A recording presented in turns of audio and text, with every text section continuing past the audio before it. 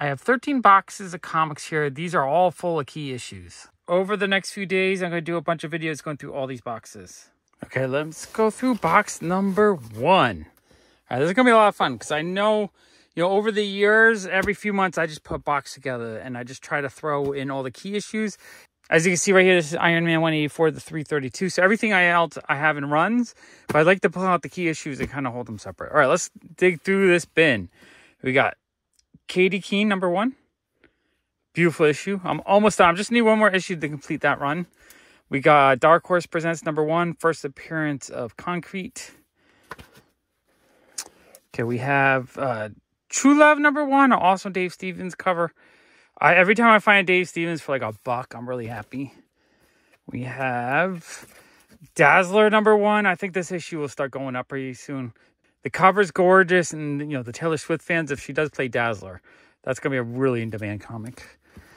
Uh, Journey into Mystery number 98. Not 100 percent sure if it's a key issue. It's just a you know better older Thor issue, so it's worth a bit. Uh, Conan the Barbarian number 24, the first full appearance of Red Sonja. Love that issue. Uh, Edge of Spider Verse number two, first appearance of Spider Gwen. Uh, Fantastic Four number 45, the first Inhumans appearance.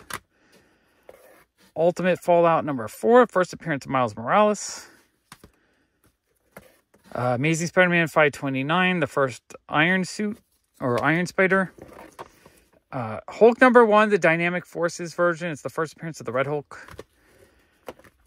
She Hulk number one, her first appearance.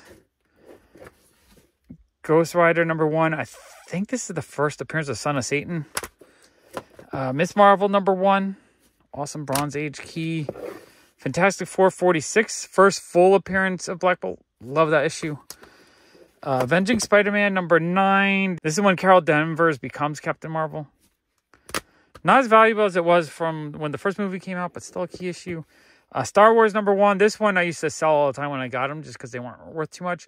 But after Disney bought them, the price just really skyrocketed. Uh, Tales of Asgard number one, pretty high grade. No, actually, it's got some creasing right there, but other than that, it's pretty decent shape. Uh, I think this is an underrated. I believe it's a reprint or it has reprints in it, so it's relatively affordable. Underrated Silver Age book though. I love the cover. I'd buy it just for the cover, honestly. Uh, New Fifty Two Batman number one. That was really high demand for a while there, maybe like seven years ago. Uh, Amazing Spider-Man number 129, first appearance of the Punisher. It's probably like a 6070 condition. Really happy to have that one. Uh, Jimmy Olsen 134, first appearance of Darkseid. Super cool key. Underappreciated, I think. Um, well, it's funny. It's Darkseid's first appearance, but he's only on a little teeny monitor. So it really is a cameo. But that seems to be the one that people appreciate the most. Uh, Harley Quinn number one. This one's in pretty high grade, and I got for 50 cents years ago, and a lot. Really happy to have that. Uh, All Star Comics presents number 58. First appearance of Power Girl. Awesome key issue. Uh, another She Hulk number one. I'll pick those up anytime I see them cheap. Uh, Hulk 271, first comic appearance of Rocket Raccoon. Uh, Tomb of Dracula number 10. It's a good mid grade copy. First appearance of Blade. Absolutely love that issue. All right, Captain Marvel number 13. I believe that's the first appearance of Carol Danvers. Uh, Captain Marvel 17 second print. This is the rare Kamala Khan cover. Uh, I believe that's her first appearance or first full appearance, I want to say. Uh, this is quite an expensive comic these days. Not as much as uh, at the peak, but still has quite a bit of value. Uh, Deadpool 45, the hip hop variant cover. That one's pretty valuable. Uh, Marvel 2 in 1, number 1. I love this Man Thing, The Thing. Awesome cover. One of my favorite series. Love that issue. Saga number 1, modern day classic. I love owning those. I have a multiple of them. Iron Fist 14, first appearance of Sabretooth. Uh, the Killing Joke graphic novel, the first print. Miss Marvel 18, the first full appearance of Raven. Love that issue. Uh, Marvel Superheroes featuring Captain Marvel number 12. This is the first appearance of Captain Marvel. Which I think, yeah, I also have a 5-5 copy on the side here. So two copies of that. Uh, if you see duplicates, I'm not selling duplicates. These are all my PC. Uh, Journey to Mystery 109, also Magneto cover. I uh, I just love collecting these early appearances of Thor. Not in the best shape. I'm still happy to have it. Iron Man Submariner number one. This predates Iron Man number one. I think it continues the storyline. Awesome comic book. Uh, Infinity Gauntlet number two. A little bit cheaper comic snuck in there. Avengers number 17 in pretty high grade, probably like a seven or eight. Beautiful copy. Long Shot number three, a really underappreciated comic. And number four, I don't think they're like five to ten bucks, but absolutely love that series. Uh, Fantastic Four number 38. I uh I think this is the second appearance of Medusa. I forget off the top of my head. Tales of Suspense number 47, kind of low grade, but still early Iron Man appearance. Absolutely love that. Uh, Iron Man number one, really fun key issue to get. You know, his first appearance is through the roof, but this is the one that you could afford for a few hundred bucks. Super cool key to have. Uh, Doctor Strange number 169. This is when they switched the title into his own title. So it's a bit of a key issue. I love that issue. Love the cover. Uh, I forget what issue this is, but it's a beautiful Michael Turner cover. This was limited or exclusive to their website. So that's a pretty cool comic to have. Amazing Spider-Man number 50. This is the one where he uh, gives up being Spider-Man. Also the uh, first appearance of Kingpin. So really, really cool key issue. Love it. Great cover, great issue. Avengers 257, first appearance of Nebula. I love that book. I pick up all the time if I see it for cheap. Uh, Amazing Spider-Man number 41, first appearance of Rhino. Avengers 196, first appearance of Taskmaster. Anything the Avengers can do, I can do better. So in the comics and in the cartoons, he's kind of a loudmouth.